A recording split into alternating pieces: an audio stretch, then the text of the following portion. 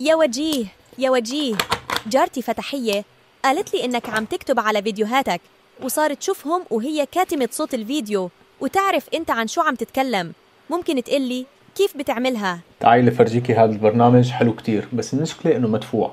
خلينا نشوفه مع بعض. التطبيق اللي عم نستخدمه اسمه Blink بتلاقيه على ال Play Store بس لتنزليه عندك وبتفتحي التطبيق بتسجلي عن طريق حساب تبع جوجل تكبسي على إشارة الزائد من شان تضيفي الفيديو اللي سجلتيه.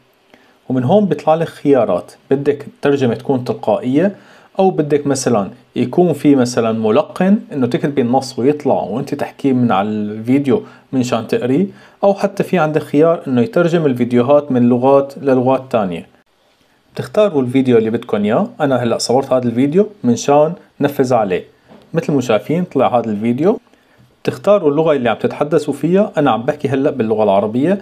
بندور هون على اللغة العربية. مثل ما شايفين راح أختار العربية سوريا.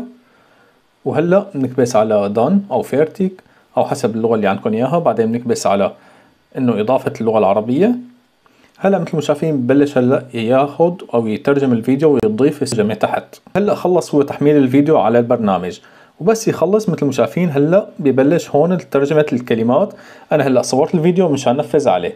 واسمعوا هلأ كيف رح يكون وكيف مكتوبة الكلمات. مرحبا هلأ أنا عم صور الفيديو يلي عم معلمكم فيه برنامج الكتابة على الفيديو.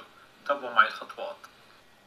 مثل ما شفتوا هدول هن الكتابات اللي كتبهم. هلأ احتمال تكون في كلمات مثلا غلط. فينا نعدل الكلمة كل كلمة بكلمتها من هون مثل ما شايفين. أو فينا نكبس مثلا نكبس على ال text بارابايتن أو تعديل ال text أو تعديل النص باللغة العربية. بنكبس على الكلمة مثلا نكبس هون ونسمع هلأ هون شو كنت عم بحكي. مرحبا هلأ أنا عم صور الفيديو يلي عم معلمكم فيه برنامج تمام. على الفيديو. هلأ رجعنا إذا رجعنا هلأ بالرجوع لورا. في عنا هون خيارات تانية. في عنا هلأ مثلا نختار ال style تبع الكتابة.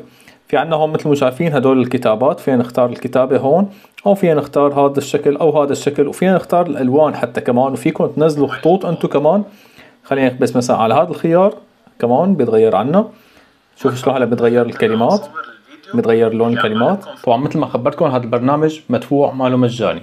اشتراكه تقريبا بالسنة 50 يورو أو بالشهر 8 يورو. طبعا أنا اشتريت هذا التطبيق منشان احسن شوي بجودة الفيديوهات.